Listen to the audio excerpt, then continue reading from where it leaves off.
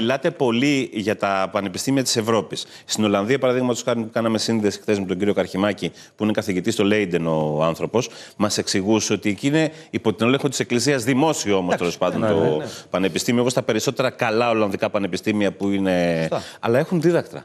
Ναι. Το θέμα των διδάκτων το συζητάτε εδώ; Να- Να το, να το ανοίξουμε. Αλλά φτάσαμε στο μέσο όρο της Ευρωπαϊκής Ένωσης για τη στήριξη της τριτοβάθμια παιδείας. Δηλαδή, η συζήτηση ποια είναι; Δώσαμε ως κράτος. Εγώ, εγώ κάνω αυτοκριτική και σε μένα. Ναι. Δώσαμε αυτά που έπρεπε στην τριτοβάθμια παιδεία, τη στηρίξαμε και είπαμε τώρα, OK, δεν μας φτάνουν τα χρήματα αυτά, πάμε για διδακτρά. Γιατί αυτή Να- πρέπει να είναι η να συζήτηση. το διαβάσουμε Πώς λίγο ανάποδα. στηρίζουμε τη δημόσια παιδεία; Το θέμα των διδάκτων το συζητάτε εδώ; Να, να το, να το ανοίξουμε.